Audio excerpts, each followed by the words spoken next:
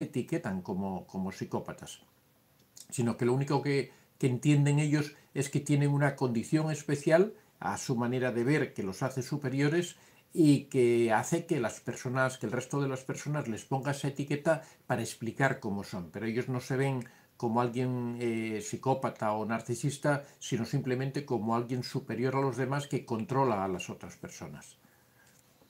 Eh, Tibisay González, buenas noches doctor, yo siento que, me, que extraño a mi, no, a mi ex pero por otro lado me siento tranquila porque me siento libre y quiero independencia emocional aunque no la tengo. Bueno, pues sigue estos consejos que vamos a dar hoy, son 12 pasos para romper la dependencia emocional, son pasos sencillitos que puede hacer cualquier persona, claro, los pasos sencillos siempre son los que más trabajo cuesta dar, ¿no? que, que requiere mucha implicación personal, pero por supuesto que sí se puede conseguir, hay que perseverar en, en esas indicaciones que vamos a dar y, se logra. Eh, Fernando Ortiz Yepis, buenas noches, doctor Vicente, le mando un saludo. Eh, María, hola, saludos desde Texas, casi se me hace tarde para el en vivo, eh, siempre ahí presente, María, muchas gracias. Cuban Girl, saludos desde Cuba, llevo casi dos meses aplicando piedra gris, la verdad he sido fuerte y él intenta acercarse al verme distante, tengo mucho miedo de recaer porque a pesar de ser fuerte lo extraño. Bueno, en esos casos mejor que aplicar piedra gris si es que te has separado de él, eh, pues la piedra gris es una técnica para cuando tienes que tener un vínculo, cuando no puedes separarte definitivamente. Quizás sería mejor que aplicaras el contacto cero, ¿no? el romper definitivamente, alejarte lo más posible de él y, y procurar no tener ningún tipo de vínculo ni de relación con él. Adriana Irene Perdigueros, saludos desde Argentina. Hola, ¿qué tal? Uri Bizantino, hola Antonio, yo ando acá. Cada día he estado escuchando tus charlas y me están ayudando a tomar el primer paso. Y por primera vez ya borré, gracias a Dios, sus mensajes y estoy escribiendo todo. Muy bien, esos pasos son muy importantes. Estás dando, eh, iniciando un camino que te va a llevar a la libertad, a la alegría, a la felicidad. Chile, buenas noches, don Antonio. ¿Cómo enfrentar a seres narcisistas en general? Hombre, la mejor manera de todas para enfrentar a un narcisista es alejarse de él. Ese es el, el, mejor, el mejor consejo que se puede dar a alguien que convive con un narcisista. Lo que ocurre es que eso no siempre es eh, fácil, por un lado por esta dependencia emocional de la que vamos a hablar hoy, pero también porque hay vínculos económicos, hay vínculos familiares, hay relaciones, hay eh, muchas veces limitaciones geográficas, porque uno a veces por su trabajo, por su vida, por todo, le resulta muy complicado el desplazarse a otro lugar o, o romper esa relación para irse a otra vivienda porque tiene problemas económicos. Hay muchas circunstancias personales que hacen difícil ese tránsito de estar con el narcisista a dejar de estar, ¿no?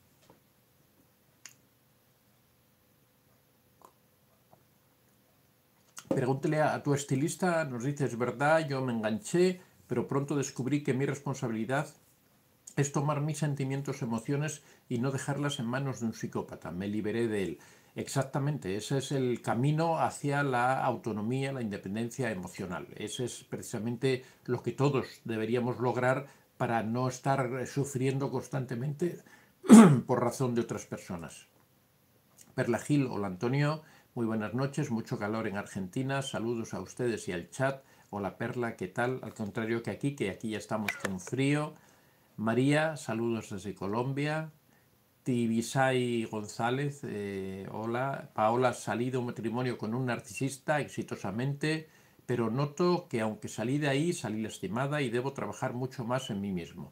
Bueno, normalmente cuando se tiene una relación tóxica, un matrimonio tóxico, es normal que una persona cuando sale de él salga un poco perjudicada, un poco dañada. Eso es normal porque, lógicamente, ha estado en ese matrimonio porque amaba, porque se entregó, porque dio partes de sí misma y, lógicamente, una vez que abandona todo eso, uno siente un poco como que ha fracasado esa idea que tenía, ese proyecto que tenía. Pero siempre hay que tratar de ver la parte positiva, hay que tratar de ver lo que se gana y, bueno, los consejos que vamos a dar hoy aquí valen perfectamente para tu caso. No sé si en, este, en tu situación ha quedado algo de dependencia emocional, pero vale para cualquier persona que rompa cualquier relación. De todas formas, te recomiendo que, leas mi libro, eh, Cómo se lo explico al corazón, que trata precisamente de eso, de cómo reconstruir tu relación una vez que has terminado una relación, valga la redundancia, tóxica. eh, cómo volver de nuevo a la vida, cómo volver a, armar todos esos elementos que son los que, los que conforman la vida de una persona, eso lo explicamos aquí, explicamos lo que es el duelo, lo que es la dependencia emocional y después, una vez que se superan esas dos circunstancias, cómo uno puede reiniciar su vida. Ya aprovechamos para, presentar el resto de los libros. Bueno, eh, La piedra gris, un libro ahora mismo no me queda, estoy esperando a que me llegue una nueva eh, una nueva, nueva, remesa de libros. Eh, la Piedra Gris, que este mes precisamente ha sido el número uno, está siendo el número uno en ventas, se está vendiendo de maravilla. He de decir también que en general todos los libros están vendiendo batiendo mes tras mes los récords de venta. Este mes, la verdad, está siendo asombroso en cuanto a venta de libros, se están vendiendo muy bien. No sé si será por la proximidad de las Navidades y que la gente las, los quiere regalar, ¿no? Eh, la madre narcisista, que este mes está el segundo, muchos meses el primero, ha sido el libro que más se ha vendido hasta ahora, la verdad a mí me ha sorprendido, nunca jamás imaginé que este libro se vendría de tal manera, yo siempre pensé que era un tema un poco más eh, limitado, el tema de la madre narcisista, donde explicamos cómo son las madres narcisistas, qué traumas dejan en sus hijos, que esos traumas se arrastran a la edad adulta, cómo hacer frente a esos traumas en la edad adulta, todo eso lo explicamos aquí en La Madre Narcisista. La dependencia emocional, justo el tema que vamos a tratar hoy, eh, claro, aquí hoy lo vamos a tratar de una forma muy, muy resumida, muy rápida, aquí explicamos todo en profundidad, explicamos cómo se supera ese, eh, esa dependencia, ese trauma que viven algunas personas que están en relaciones tóxicas, cómo uno puede superarlo, cómo puede reconstruir su vida después, cómo puede uno alejarse del narcisista sin tener que sufrir tanto. Eh, ¿Cómo reconocer a un narcisista? Todas esas preguntas que me hacéis, ¿cómo puedo identificarlo? ¿Cómo sé si realmente eso no es? Si es narcisista o es psicópata o es sociópata, ¿cuál es el origen del narcisismo?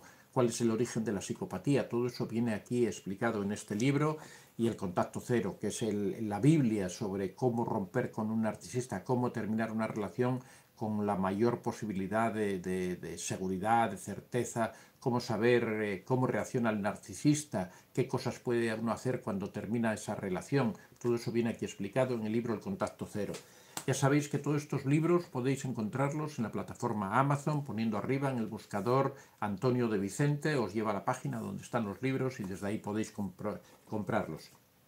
Y este libro, que está un poco fuera de, de la línea de estos otros, porque este ya no es un libro de autoayuda, sino que es una biografía, es la vida de Pablo Picasso, es una biografía de Pablo Picasso, se titula Picasso, el gran narcisista. Por supuesto, tiene, la he escrito yo, tiene relación con el narcisismo, explica cómo era la personalidad de este sujeto, de este elemento, que eh, podríamos calificarlo, porque la verdad es que era un narcisista con todas las de la ley, eh, que causó un daño tremendo. Aquí podemos ver hasta qué extremo puede llegar un narcisista, una persona que realmente lo tenía todo, que era rico, que era exitoso, que triunfaba en la sociedad parisina de principios del siglo XX, eh, famoso en el mundo entero, y sin embargo una persona horrible, una persona que causó un daño tremendo a todos con los que se relacionó, eh, varias de sus parejas eh, se suicidaron, otras terminaron en psiquiátricos, su propia familia, su hijo murió alcoholizado por no poder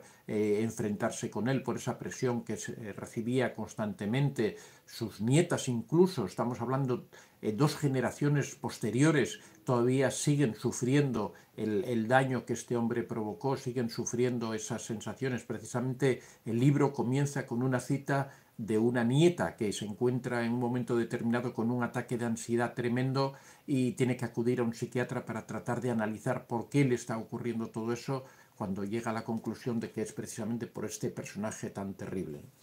Y bueno, la semana próxima ya va a salir el siguiente libro que se titula eh, Deja de sufrir, que trata precisamente sobre el sufrimiento en general. Analizamos diferentes tipos de sufrimiento, el, sufrimiento producido por la dependencia emocional, el sufrimiento producido por la depresión, el sufrimiento producido por la angustia, el sufrimiento que se llama sufrimiento vital, ese sufrimiento que tienen algunas personas y que no lo pueden explicar, que no saben de dónde les viene, que es una especie de inadaptación de la persona a la vida.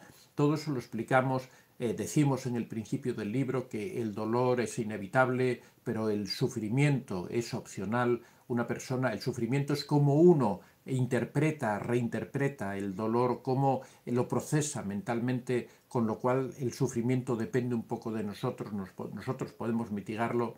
El dolor es algo que es temporal, el sufrimiento puede alargarse eh, durante toda la vida de una persona.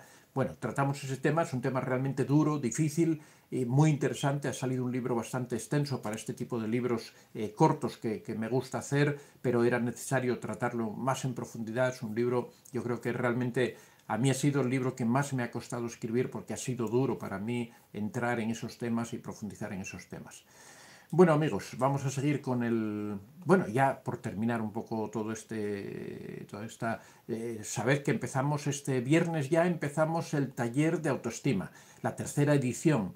Ya hay muchas personas que están inscritas, la verdad es que, que, se está llenando el taller con mucha rapidez. Aquellas personas que aún estáis interesadas y no os habéis inscrito, estamos en los últimos días, ya sabéis que una vez que comencemos el taller ya nadie se va a poder incorporar porque no quiero que haya personas que no vayan al ritmo del, del, resto del grupo. Son siete meses, son siete módulos en donde vamos a tratar todos los aspectos de, de la autoestima, donde vamos a hablar de la introspección, vamos a hablar de, de las ideas irracionales, de cómo, eh, cómo solucionar problemas emocionales. Es un taller de autoestima especialmente indicado para personas que están en relaciones tóxicas, porque también tratamos la dependencia emocional, hablamos de lo que es la asertividad, eh, las reglas que uno debe poner, cómo uno debe expresar sus opiniones, cómo uno debe hacer valer su, forma de, de, entender la vida, eh, hablamos de la, inteligencia emocional, profundizamos en lo que es la autoestima en sí misma, lo que es la autoimagen, lo que es el autoconcepto. Y después al final ya el último módulo es un módulo de misceláneas, donde hablamos de, de esos aspectos que no hemos podido tratar a lo largo de todo el taller, pero que sí tienen una importancia eh, tremenda, como puede ser, por ejemplo, las prioridades que debe aplicar la persona en su vida, que también son determinantes de que uno después pueda eh, tener una autoestima sana, eh, explicamos eh, conceptos como la importancia que tiene la imagen corporal de cara al desarrollo de la autoestima, esos aspectos que se nos van quedando en el tintero y que no, no tienen un encaje en ningún módulo. La verdad es que es, es muy denso, muy intenso, muy, eh, pero también al mismo tiempo es divertido de hacer con muchas prácticas, con muchos ejercicios, con muchas técnicas diferentes para que la persona elija aquellas que más le gustan. Bueno, vamos a seguir con, con, las cuestiones que me vais planteando aquí, con los saludos, antes de empezar, porque hoy el tema, y la verdad, es bastante largo, son 12 puntos, no quiero... Eh...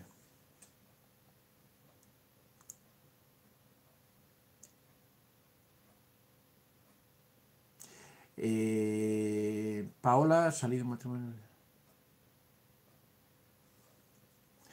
Raquel Jaramillo, ¿eh? sí. Raquel Jaramillo, ¿puedo vengarme del narcisista? Es decir, jugar con sus sentimientos también o algo así. Eh, no deberías hacerlo. Nunca hay que entrar a jugar con un narcisista porque en esos casos casi siempre el peor perjudicado es la víctima. Eres tú, la persona que quiere jugar con el narcisista porque el narcisista precisamente lo que busca es eso, lo que busca es la confrontación, busca la pelea, busca el, el, el, ellos son expertos en esa lucha emocional, en esa conocen las malas artes, saben manipular, saben dar vuelta a la situación. Entonces, aunque uno piense al principio que puede jugar con ellos, al final eso siempre se vuelve en contra. Aparte de que eso lo que ocurre, lo que, lo que provoca es que lo condena a uno a esa permanencia junto con el narcisista, aunque sea por la pelea lo mejor en los casos en los que uno se encuentra con un narcisista es alejarse de él. Es la mejor solución. No pelear, no tratar de vengarse, no tratar, siempre digo, la venganza a quien hace daños a uno mismo. Lo mejor es alejarse, dejar al narcisista. No hay mayor venganza que dejarlo solo. No hay mayor desprecio que no hacer aprecio. Alejarse de él y reiniciar uno su propia vida. Ese es la mejor, el mejor consejo que puedo dar a cualquiera que esté en cualquier tipo de relación tóxica, ya sea con narcisistas, con psicópatas, con sociópatas, con cualquier tipo de personaje tóxico que se dé. Eh, el universal número uno, líder número... El universal, líder número. Buenas noches, Antonio. ¿Por qué narcisista se queda callado cuando uno los cubre? Cubre me refiero que quieres decir los descubre o bueno, es una estrategia más, ¿no? Para, para, no tener que enfrentarse, para simplemente no asumir esa situación, ¿no? Flores me pregunta si el narcisista también es dependiente emocionalmente de la víctima. No, nunca es dependiente el narcisista por una razón muy sencilla. Porque el narcisista nunca ama. El narcisista es un ser eh, superior que no se considera dependiente de nadie. Si el narcisista fuera dependiente, dejaría de ser narcisista, porque ya no se sentiría superior.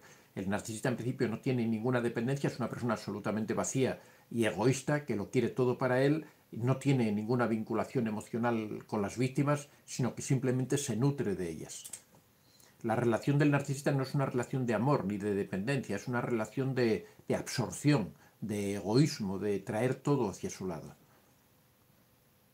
Eh, Besaida Rosario, doctor, el narcisista no deja de hablar cosas que son de mi familia y siempre se refiere a mí con nombre burlón y me amenaza de muerte. Di que porque no lo dejo ver a los niños, pero él no volvió a buscarlos. Eh, bueno, deberías, eh, bueno, en el caso de que haya niños, deberías aplicar la piedra gris. Tú debes ser firme en tus creencias, firme en aquello que piensas, no le hagas caso a lo que diga, no te importe lo que él hable por ahí, la gente se va a dar cuenta porque todo el mundo es consciente de lo que está ocurriendo. Si él abandonó a los niños, no se preocupó de ellos, pues no puede, porque en realidad eh, yo creo que lo que trata es de utilizar a los niños en tu contra. Tú respeta las reglas que te haya impuesto el juez de separación, de, de custodia, de lo que sea, y no caigas en esa trampa. Eh, yo te recomendaría que leyeras el libro de la piedra gris para que eh, trataras con frialdad a esta persona, para que no te implicaras en discusiones, simplemente trata de transformarte en una roca, de que no te influya nada de todo lo que él diga, ni lo que diga otras personas, ni lo que te diga a ti. Tú marca tu línea, marca tu rumbo y síguelo sin hacer absolutamente ningún caso. Eh, Tibisay González, yo aún, tengo, aún no tengo el valor de borrar sus fotos ni su número de teléfono, al contrario, aún lo escribo aunque no me responda. Sin embargo, tomé la decisión de dejarle, estoy en Chile y él vive en Ecuador. Bueno, no has tomado la decisión de dejarle, realmente tú lo que has tomado es la... Bueno, no sé realmente qué decisión has tomado, porque eh, tomar la decisión de dejarlo es aplicar el contacto cero y eso significa eh, romper sus fotos, eh, eh, borrar sus, todos sus datos de tus redes sociales, de tu teléfono, de todo. Tienes que eliminar todo lo posible. No existe la ruptura con un narcisista mientras la persona no lo interiorice, mientras la persona no se convenza de que tiene que terminar esa relación, pero un convencimiento pleno de entender que esa persona te hace daño, de que no puedes continuar con esa persona porque te va a hacer sufrir. Esa es la clave de romper con un narcisista. Mientras una persona considere que el narcisista puede volver, que quiera guardar su número de teléfono, que quiera tener un recuerdo, siempre uno de los actos más importantes que uno tiene que hacer cuando termina con un narcisista es coger una bolsa enorme de basura y en esa bolsa meter todo aquello que tenga en su casa, todo lo que lo relacione ya sean regalos, ya sean recuerdos, ya sean eh, cosas de familia, todo aquello que se relacione con el narcisista hay que meterlo en una bolsa, hay que cerrar esa bolsa y tirarla a la basura y al mismo tiempo hay que borrar todos los recuerdos en las redes sociales, hay que borrar todos sus números, hay que borrar el número de sus amigos. Si algún familiar tuyo tiene vínculos o relaciones con el narcisista, hay que apartarlo de tu vida también. Eso es aplicar el contacto cero. Y si no, bueno, ahí tenéis el libro, ahí os lo explico claramente los pasos que tenéis que dar. Esa es la forma sana de terminar con un narcisista y la forma rápida. Cuando una persona se engancha, bueno, en este caso existe una dependencia emocional, eso está claro, ¿no? Es muy recomendable que veas lo que vamos a comentar hoy, pero cuando una persona se engancha, cuando una persona quiere seguir teniendo recuerdos, cuando una persona no se decide a borrar toda esa presencia, esa presencia va a estar ahí torturándolo constantemente. Así que el camino es terminar de una vez definitiva con todo. Eh, Paola, ahora estoy lejos eh, en mi país y estoy en contacto cero. Ahí muy bien. Eh, incluso, bueno, hay personas que se cambian de país para alejarse porque si no, no pueden romper esa dependencia con el narcisista. Hay personas que se desplazan a lo mejor en el mismo país cientos de kilómetros para estar lejos. Esos son pasos adecuados de personas valientes que deciden romper con esa vinculación. Muchas veces preferimos quedarnos en nuestra zona de confort, ahí con nuestros recuerdos, con nuestras ilusiones, con nuestros sueños, pero realmente eso lo único que hace es prolongar el sufrimiento, lo único que hace es dificultar la ruptura. Es igual que si uno quiere hacer dieta y dice voy a dejar de comer dulce, pero dice, bueno, todos los días como una cucharadita de tarta, todos los días como una cucharadita de leche condensada, porque es que no acabo de romper, es que no acabo de decidirme, es que eh, tengo esa necesidad. Bueno, eso es una dependencia por el dulce, ¿no? Por ejemplo, el, es un ejemplo simplemente, pero quiero decir que para que os hagáis eh, una idea, cómo alguien va a hacer una dieta para romper con el dulce si todos los días come una cucharada de, tarta, por ejemplo. Lo mismo ocurre con esa persona que deja los recuerdos del narcisista, de la persona tóxica en su casa. Cada vez que ve esos recuerdos lo está reviviendo, lo está recordando, él está presente permanentemente. Hay que destruir esa presencia de esa persona en nuestra vida. Eh, eh, Juan Luis Martínez, hola buenas, Silvia Moro, hola buenas noches, doctor Antonio Vicente desde Argentina, Ciria Méndez, eh, muchas bendiciones, Jesús Ortega, se queda pensativo, pregúntale a tu estilista, contacto cero definitivamente es lo mejor, duele muchísimo, pero entre más rápido mejor. Efectivamente, es un paso que es duro de dar, pero que es lo que nos saca de esa situación de una forma definitiva.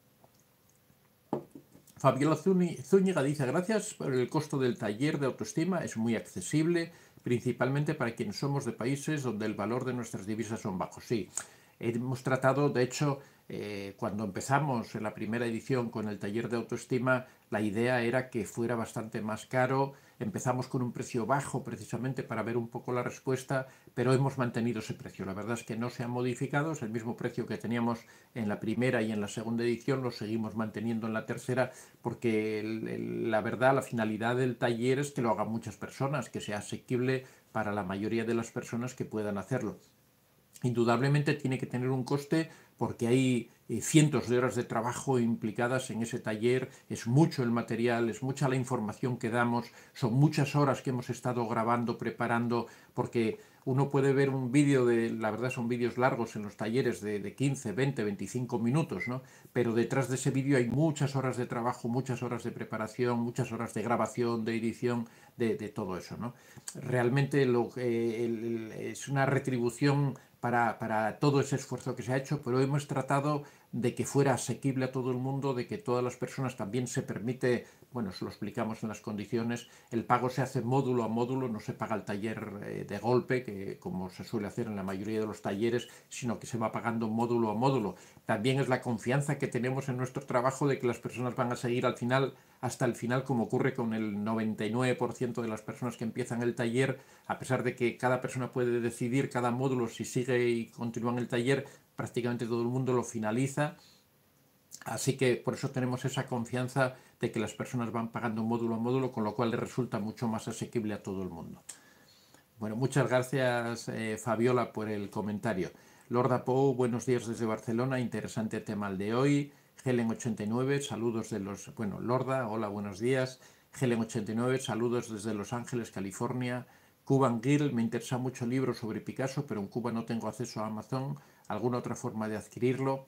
La verdad es que ahora mismo no, como no hay alguna persona que te lo pueda llevar desde España o Estados Unidos, porque ya hace tiempo que hemos dejado de enviar libros a América porque se perdían o no llegaban o, llegaban después de cuatro o cinco meses. Así que mm, tienes que ver alguna persona, algún familiar, algún conocido que viva en algún país, ya sea Estados Unidos, España, eh, cualquier país de Latinoamérica y que reciba Amazon.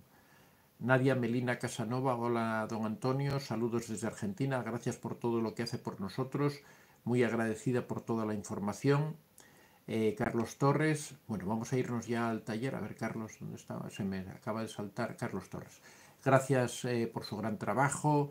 Pregúntale a tu estilista por qué no logré encontrarte antes. Yo pasé sola, solo no me dejé guiar por el dolor, por eso, pero eso me enseñó muchísimo. Bueno, pero nunca hay que lamentarse por el agua o por la leche derramada, ¿no? Estamos aquí, tú has llegado, eh, vienes ya con una experiencia grande, nos puedes eh, hacer comentarios que, que ayudan a enriquecer el canal. Así que nada, acompáñanos en esta travesía, ya sabes, lunes, miércoles y viernes aquí estamos en directo a las cinco y media hora española. Cuando cambie la hora también cambiamos de horario, pero bueno, aquí estamos en este momento. Pregúntale a tu estilista, suscrita, muchas gracias, contamos contigo. Delia Montenegro Fernández y yo me quiero inscribir en el taller. Las personas que se quieran inscribir, dirigiros a Antonio de Vicente 24, eh, gmail.com. Ya sabéis que es hasta el viernes y después ya comenzamos el taller el viernes por la tarde hora española. Se van a 8 de la tarde aproximadamente hora española, se van a empezar a recibir ya los primeros, eh, los primeros temas. Eh, este año hemos introducido una modificación que va a ser realmente bonita y es que va a haber todos los días, a lo largo de todo el taller, a lo largo de siete meses, todos los días va a haber algún detalle que las personas van a ir recibiendo a forma de una frase, a forma de un comentario, a forma de, algún tipo de, expresión motivadora para que las personas se mantengan muy activas dentro del taller para que se mantengan ilusionadas, van a ser eh, mensajes de carácter optimista que van a animar a las personas a ir continuando, a todos esos eh, inscritos en el taller, a, que vayan continuando con, con, el taller y vayan llevándolo, todo va a ir relacionado a lo que estemos tratando en ese día, en esa semana, de forma que la gente, que las personas se vayan cuestionando todo lo que van aprendiendo y van viendo. Eh, Floris Sabao, apuntada al taller, sí, ya lo sé, Flori, que ya estás apuntada. Eh, Delia Montenegro, Salí del Fuego, ahí, en, ahí en las brasas. Eh, Romero, el narcisista, muchas veces me dijo que iba a sacar el verdadero demonio que llevaba dentro.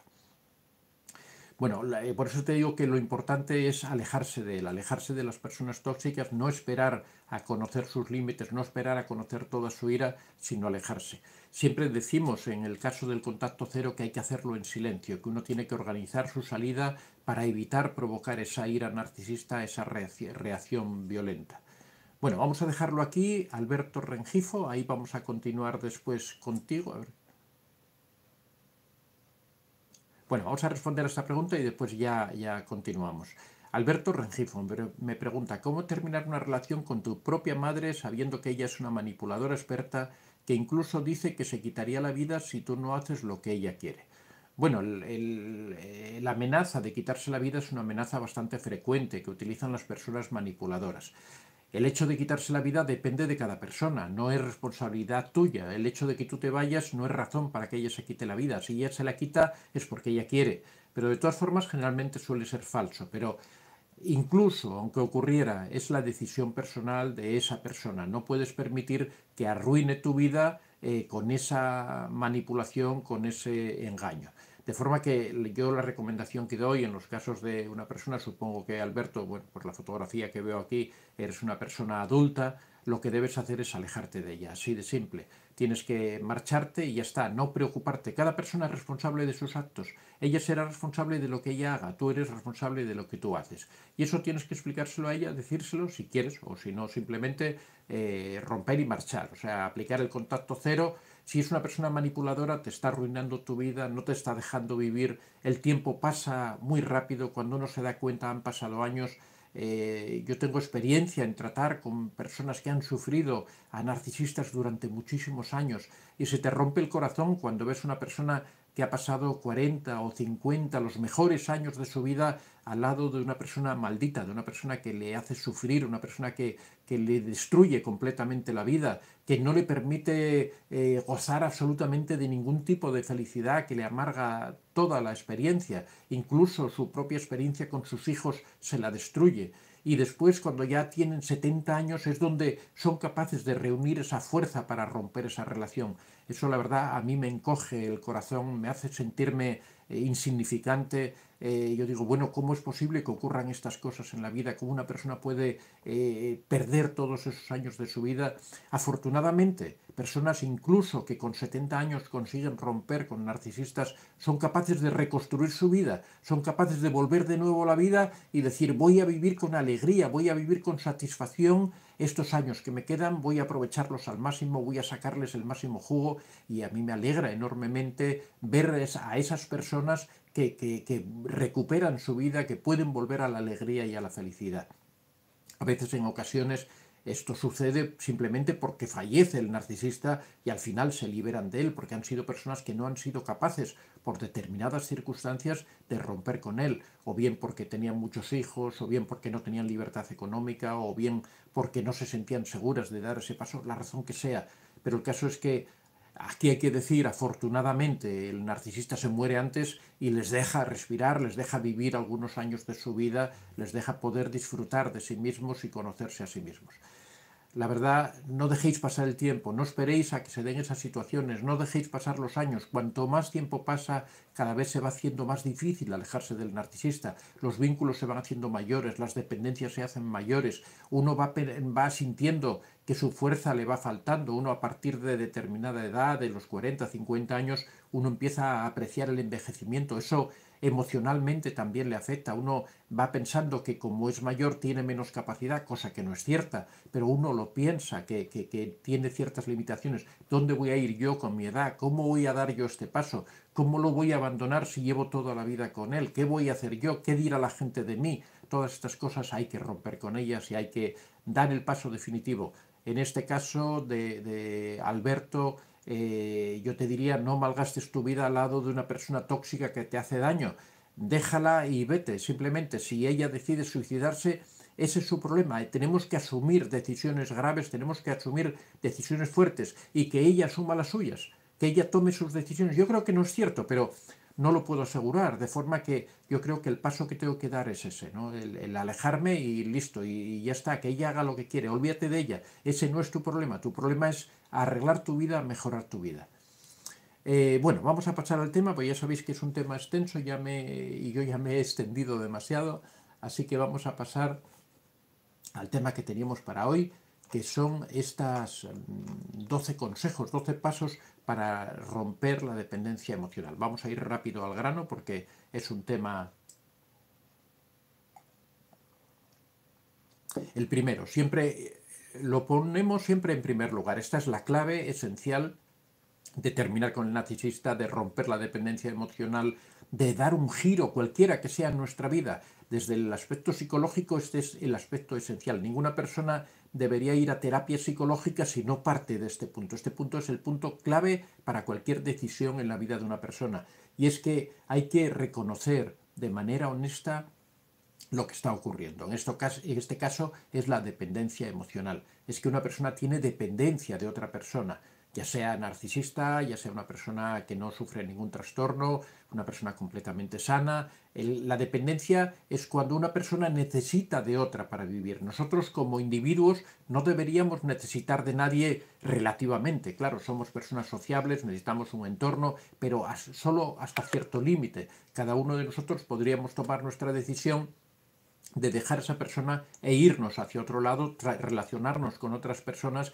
y deberíamos poder tomarla con total libertad. Por supuesto, si una, tiene, si una persona tiene una relación de amor con otra persona, de pareja, de vinculación, cuando se toman estas decisiones de alejarse, de romper, por la razón, la razón que sea, ya no digo que sea dependencia emocional, sino simplemente porque nuestros caminos han cambiado, porque nuestros objetivos ya no son los mismos, porque ya no nos queremos como antes, todo esto siempre resulta doloroso, siempre se percibe o se vive como un fracaso, ¿no? como que la relación no ha funcionado. Todo eso lleva, conlleva un sufrimiento. Pero ese sufrimiento tiene que ser limitado y nuestra capacidad tiene que ser la suficiente como para tomar esa decisión y dar ese paso. Cuando no existe esa capacidad es porque se han generado dependencias, porque yo como persona soy dependiente de la otra persona, soy dependiente emocionalmente, necesito a la otra persona para vivir. Esa es la dependencia emocional. Entonces el primer paso es que hay que reconocer honestamente que eso es así que no es que yo esté enamorado, porque el amor es algo que, que, no tiene por qué afectar de tal manera a nuestro juicio, ¿no? Yo puedo estar enamorado, pero decidir alejarme de una persona porque me hace daño. Si estoy enamorado y no puedo, es porque existe una dependencia. Y la dependencia no es amor, la dependencia es un tipo de vínculo que se establece por una serie de mecanismos psicológicos, pero no es amor, es una necesidad. Yo necesito de la otra persona y por eso no me alejo. No es porque la ame, es porque la necesito para vivir, porque entiendo que sin ella mi vida carece de sentido. Pero eso no es amor, eso es necesidad. Hay que Tener eso bien claro, eso es esencial. En segundo lugar, hay que identificar esas cosas que creemos que hacemos por amor, que creemos que hacemos por cariño, pero que nos perjudican. Como por ejemplo permanecer al lado de una persona, soportar sus manipulaciones, pensar que esa persona va a cambiar, todo ese tipo de conductas que nosotros justificamos en el amor eh, tenemos que identificarlas para poder ponerles punto final, para darnos cuenta de que realmente esa dependencia existe y para poder romper esa dependencia de una forma definitiva. En tercer lugar, muy esencial, y esto lo tratamos eh, en profundidad en el taller de autoestima, hay que desarrollar la asertividad. La asertividad es la capacidad de expresar nuestra opinión con libertad, sin herir a los demás, sin molestar, pero con claridad decir aquello que pensamos, no guardarnos nuestras ideas por miedo a herir a otras personas. Nosotros tenemos que tener esa libertad de poder expresar aquello que pensamos, aquello que sentimos, aquello que deseamos, sin que nadie nos limite y sin que nadie se enoje ni se altere por ello. De la asertividad dependen las líneas rojas que ponemos ante otras personas. Normalmente cuando una persona eh, eh, permite que el narcisista le, ofenda, permite que el narcisista le falte al respeto, permite que el narcisista eh, lo, lo, desvalorice, todo eso significa que esa persona está rebajando sus líneas rojas o las está haciendo desaparecer. Significa que esa asertividad, si es que existía, está desapareciendo.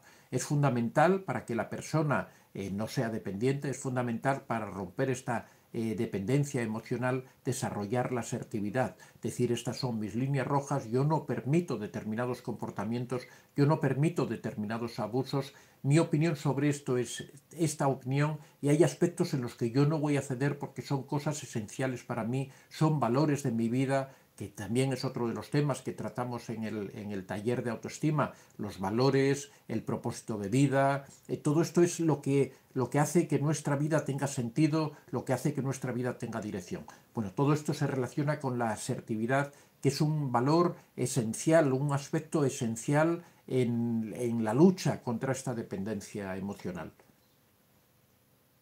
En cuarto lugar, hay que tener claro que hay que romper la zona de confort que la zona de confort siempre digo que es un concepto absurdo en sí mismo, es un concepto de estos que, los norteamericanos crean, ellos que son muy prácticos, crean unos, unos, conceptos que sean muy fácilmente entendibles, hasta por niños suelen decir, ¿no? Que, pero en realidad es un concepto erróneo, porque muchas veces esa zona de confort es una zona de sufrimiento y de dolor, es una zona en donde estamos metidos y de la que tenemos miedo de salir. Por eso la llaman zona de confort, porque uno se siente ahí como refugiado. Pero ahí donde está refugiado, está sufriendo, está pasándolo mal, es cuando estás en una relación con una persona tóxica, es en donde estás en una relación con dependencia, es en donde estás en esa relación en donde permanentemente estás sufriendo, pero lo llaman zona de confort porque alrededor existe un muro que no nos atrevemos a romper.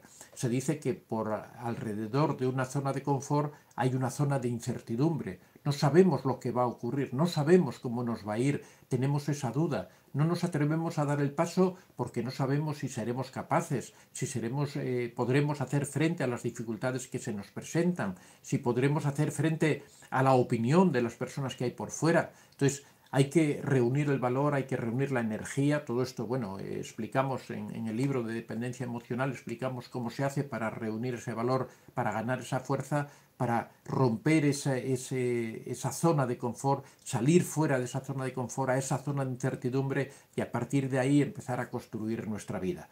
Es muy importante tener claro que tenemos que dar ese paso, que ese paso que, que es eh, ese primer paso, que es romper esa zona de confort, que es salir de ahí, que romper con el narcisista realmente es el paso clave para poder salir adelante. Pero bueno, para esto hace falta lo que habíamos visto previamente, estar convencidos de que realmente estamos en una dependencia emocional y que estamos en una relación tóxica.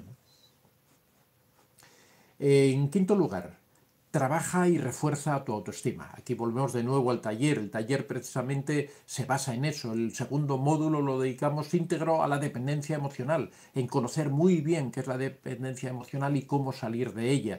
El primer módulo lo dedicamos a la introspección, cómo conocerse una persona a sí misma. Es esencial el que una persona se conozca a sí misma y que trabaje la autoestima. La autoestima es como la columna vertebral de la personalidad, es lo que te hace fijar límites, lo que te hace tener valores, lo que te hace saber hacia dónde vas, lo que te hace quererte a ti mismo, valorarte, reconocerte tal como eres, asumir esas debilidades o defectos que puedas tener y tratar de ir subsanándolos, el darte cuenta también de qué virtudes tienes, qué cosas maravillosas atesoras dentro de ti y que son tu valor como persona y darle su importancia no permitir que otras personas te lo minusvaloren, que otras personas te lo desprecien. Ese es tu valor como persona que todos tenemos. Todos como personas tenemos muchos valores, tenemos que aprender a reconocerlos. En sexto lugar, y como consecuencia de lo anterior, ponte en valor, date valor a ti mismo como persona, valórate como persona, no de cara a los demás, no te preocupe lo que piensen los demás, sino hacia ti mismo. Siéntete orgulloso de lo que eres, siéntete orgulloso también de lo que puedes construir, porque muchas veces nos damos cuenta de esos defectos que tenemos, de esas faltas, pero también somos conscientes de que poco a poco las podemos ir solucionando. Aquí hablamos también en el taller del método Kaizen, ese método japonés que lo que propugna es una pequeñísima mejora cada día. Si una persona tiene una mejora del 1% cada día, en 100 días habrá dado la vuelta a su vida. Simplemente una mejora del 1%, un pequeño cambio en tu vida cada día. Eso es el desarrollo de la autoestima, tiene que ocurrir de esa manera. Se trata de ir cada día mejorando un poco. Todo eso te ayuda también a ser autónomo emocionalmente, a romper con la dependencia emocional y sobre todo, una vez que sales de esa dependencia, a no volver a caer nunca más en ella. En séptimo lugar, como consecuencia de todo lo anterior, aprende a estar solo, aprende a disfrutar de ti mismo, aprende a vivir en soledad, aprende a no necesitar a otras personas.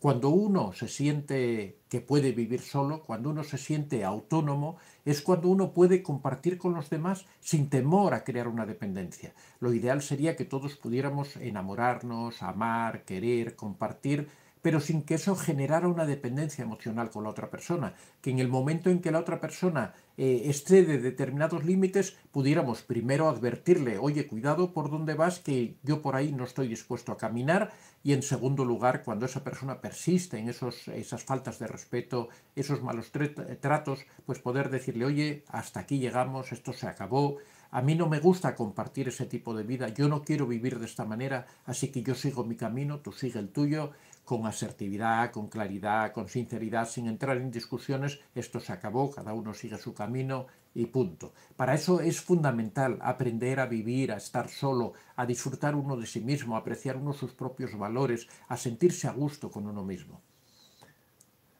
En octavo lugar, como consecuencia de todo ello, una persona tiene que aprender a amarse, a valorarse, a decir yo soy así, puedo tener muchos defectos, me puede faltar una pierna, puedo eh, estar ciego, puedo eh, no tener pelo, puedo, eh, no sé, ser muy feo, lo que tú quieras, puedo ser, pero tengo muchos valores, tengo muchas cosas importantes, soy una persona que puedo dar cariño, que puedo dar amor, que puedo dar apoyo, que puedo ayudar a otra persona, que soy compasivo, que, eh, ayudo a otra persona a ser feliz, que a su vez yo puedo ser feliz autónomamente, que puedo disfrutar viendo una película, que puedo disfrutar leyendo un libro, que puedo disfrutar con una conversación, que mi conversación es amena. Todos tenemos muchísimas virtudes, tenemos muchas cosas por las que valorarnos y esas eh, debilidades o esas peculiaridades o esas eh, diferencias que puede haber en el aspecto físico, en el aspecto personal, eso no son más que eh, los aspectos que caracterizan a una persona. Todos somos diferentes, con lo cual dependiendo del canon, porque por ejemplo, hablando de la belleza, la belleza no es más que un canon. Cuando uno ve las pinturas del siglo XVI o el siglo XVII, uno dice, bueno, pero ¿cómo es posible que consideraran bellas a estas personas? Por ejemplo, el, canon físico, cuando vemos las, las, imágenes de las mujeres de Rubens, vemos mujeres gorditas. Hoy día ninguna mujer querría ser así cuando en, ese, en esa época era el modelo. Por lo tanto, entendemos perfectamente que esos son convenciones sociales que no tienen mayor importancia para lo que es la concepción de la persona en sí misma. Todos, como digo, atesoramos valores, todos tenemos que aprender a querernos, aprender a amarnos por esos valores que tenemos, pudiendo dejar a un lado esas convenciones sociales y valorándonos por nosotros mismos, valorar también nuestros progresos, cómo cada día vamos mejorando, sentirnos orgullosos de esas mejoras que vamos produciendo. Eh, en noveno lugar, eh, no te olvides de ti. Muchas veces en la dependencia emocional lo que ocurre es que vivimos pendientes de la otra persona, vivimos pensando todo en la otra persona. Es esencial empezar a vivir pensando en nosotros mismos. Nosotros no podemos ofrecer a nadie nada, a nadie, si no lo cuidamos, si no, nosotros somos lo que podemos ofrecer a las otras personas, somos nosotros mismos, nuestra riqueza, nuestra sensibilidad, eh, nuestro cariño, nuestro amor, pero eso tenemos que cuidarlo. Lo primero de todo, tenemos que pensar en nosotros mismos. Es como un plato de comida. Si el plato de comida está rico, no está rico, no puede agradar a nadie. Lo primero nosotros tenemos que hacernos personas ricas en lo emocional, en el contenido, en, en ese aprecio que tenemos. Es fundamental sentir amor propio, sentir orgullo de nosotros mismos, porque eso es lo que vamos a ofrecer a los demás. Si nosotros nos sentimos orgullosos de nosotros mismos, otras personas podrán sentirse también orgullosas de nosotros. En décimo lugar, trata siempre de mantener relaciones con otras personas, aparte de esa persona con la que puedas tener dependencia. Es esencial mantener los círculos sociales, es imprescindible. Una de las consecuencias típicas, y sobre todo cuando es una relación tóxica, de la dependencia emocional es el aislamiento. La persona se va centrando solamente en ese objetivo, en esa persona de la que depende, se va centrando en dedicar toda su vida a esa persona y está renunciando a todo lo demás. Las personas estamos hechas para vivir en sociedad, no para vivir solamente en monogamia con una sola pareja. No podemos aislarnos del resto del mundo. Tenemos familia, tenemos amigos. Nuestra riqueza se compone de todo eso, se compone de todo ese mundo que tenemos a nuestro alrededor en el que están eh, los amigos, en el que están los familiares, incluso los conocidos con los que tenemos eh, conversaciones eh, poco importantes, banales. Todo eso también es importante. También la, conversación banal, el, el contacto banal es importante, el contacto en el ascensor con los vecinos, el saludar a las personas de nuestro pueblo que conocemos, aunque no tengamos mucha intimidad con ellos. Todo eso es importante y es lo que conforma a la persona. Por eso el afán de los narcisistas de aislar a las personas, porque tratan de destruirte precisamente destruyendo todo tu mundo. Tratan de separarte de tus amigos, de tu familia, de la gente conocida, para que solamente te centres en él. Muchos de, los, de las dependencias emocionales son provocadas intencionadamente por las personas tóxicas, sobre todo por los narcisistas, para que te dediques, te centres exclusivamente en él y poder manipularte y hacer con, contigo lo que ellos quieran a su antojo. En decimoprimer lugar, una vez que estás empezando a romper esa dependencia emocional, no caigas en la tentación de volver de nuevo al, a lo mismo. ¿no? Eh, antes hablábamos de una persona que guardaba los recuerdos de esa relación anterior, a pesar de que se había terminado, que, no quería quitar los contactos de sus redes sociales ni de su celular. Eh, es fundamental eh, terminar, romper todos esos vínculos con esa persona de la que tenemos dependencia, especialmente cuando se trata de una relación tóxica. Tenemos que, que, destruir todos esos vínculos que nos sujetan a esas personas para poder definitivamente arrancar, poder separarnos de esa persona y poder continuar con nuestra vida de una forma adecuada. Y en último lugar, analiza y evita las expectativas exageradas. Muchas veces la dependencia surge de que nos imaginamos cosas, de que pensamos cosas, por ejemplo, de que creemos que una persona va a cambiar, de que la visualizamos como una persona maravillosa cuando en realidad no es así. Aquí entramos en la disonancia cognitiva, esa imagen que nos hemos que bueno, eh, lo siento mucho, se va a apagar el celular, no sé por qué ha consumido toda la batería, quedan como 20 segundos o algo así de batería. Ya, bueno, estábamos terminando. Eh, siento no poder responder a todo el mundo. Quedan 13 segundos, me va dando una cuenta ahí. Espero que hayáis disfrutado. Este era el punto 12, era el último punto. Eh, muchas gracias a todos. Se va a cortar repentinamente. Bueno, cuando